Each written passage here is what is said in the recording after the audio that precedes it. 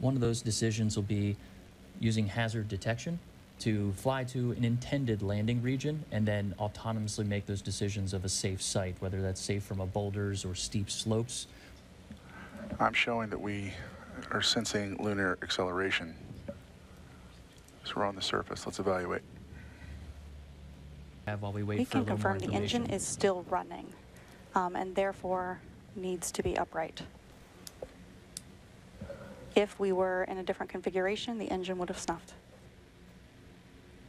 Okay, so we have confirmation.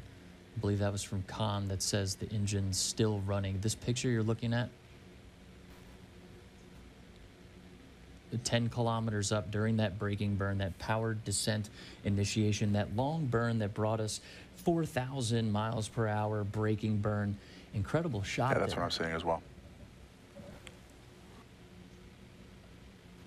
Right, there's another view there. Uh, looks like from this panel, we're looking at the garage. So that's Lunar Outpost MAPP Rover inside of that square right there, Leah. And this looks like it's probably about the same altitude, maybe about 10, 10 meters above the surface. And one more here for everyone. It's about the same altitude there, maybe a little bit more exposure, but these Camera's still running in HRN mode. These photos came down for us just a few moments ago. Wanted to share those before we jump back into mission control as flight controllers are looking at this dummy. AD, this is prop. Can you confirm um, what is getting powered down? Everything we can right now, prop. Copy.